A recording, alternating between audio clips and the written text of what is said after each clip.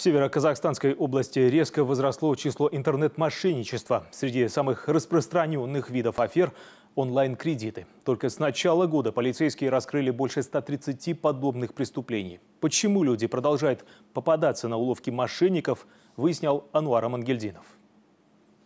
Товарный кредит – самый излюбленный и проверенный прием мошенников. Этот 18-летний парень таким образом обманул десятки граждан. Сначала он обещал людям приобрести телефон по выгодным условиям, затем оформлял технику в кредит и перепродавал ее. Ты свою вину признаешь, что ты совершал мошенничество? Да, вину осознаю. Сколько у тебя таких людей, которые Человек 15. Украденный телефон все вот так за 95 продавал? Да. А в какой банк ходили, когда оформляли кредит? Мы не ходили в банки, все делали через приложение. В качестве своих жертв аферист выбрал исключительно молодых людей. В результате ему удалось провести махинацию на сумму в размере 4 миллионов тенге. Все заявители являются студентами учебных заведений города Петропавловска.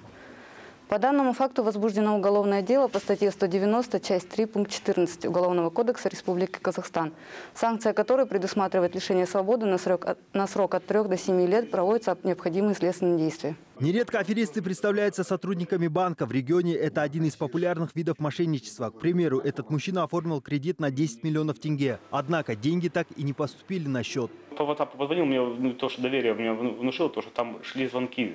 Люди, когда звонили, сотрудники поднимали, тоже представлялись, Альфа-банк, все как.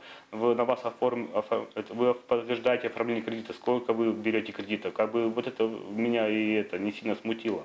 По данным областного департамента полиции, в регионе уже зарегистрировано более 600 подобных случаев. По результатам мониторинга правоохранители с начала года проверили 1350 объявлений оказания услуг. Больше сотни из них заблокировали через администрацию сайта.